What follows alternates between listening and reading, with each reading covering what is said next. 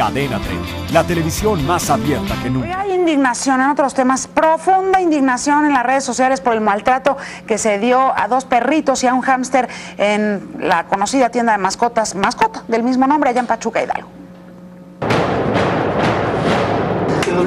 El hashtag mascota maltrata animales se colocó en el primer lugar de la lista de trending topic de Twitter ante la indignación que provocaron cuatro videos difundidos en Facebook.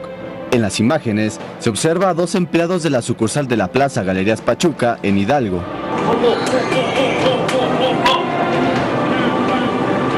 Es clara la tortura a dos perros de la raza chihuahua y a un hámster, quien aparentemente muere después de recibir un par de patadas. En las imágenes dan una supuesta bienvenida a los animales con golpes mientras se burlan de las reacciones.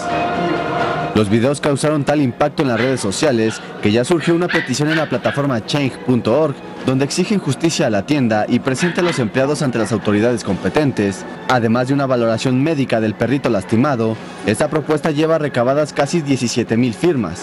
A través de Twitter, el gobierno de Hidalgo dio a conocer que ya se investiga el caso de maltrato animal por parte de la Secretaría de Medio Ambiente local.